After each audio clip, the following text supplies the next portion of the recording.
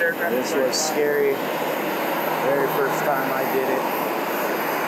Now I love it. I didn't come from an airline industry at all, so this was all brand new to me. And I'm loving every single moment. Now here on the ramp, you got to keep your head on a swivel. Always watch, especially if you step out from a blind corner.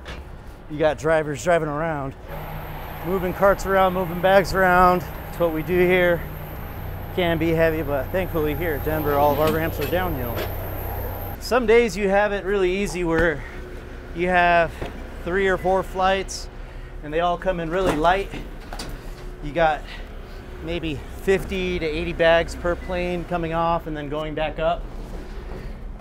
And then if you're really lucky, and I say that with the most sarcasm I can muster here, is every plane comes in extremely loaded with 150 bags plus, up and down, six to seven times a day.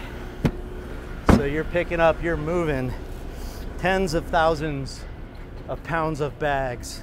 And it gets tough, but that's what we do. You work hard, it's rewarding. Get to fly for free. There's always another plane.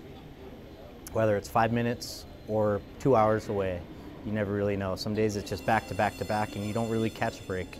Some days you get lots of breaks and it's relaxed. My next departure isn't for two hours and eight minutes. So basically I have an hour break time right now.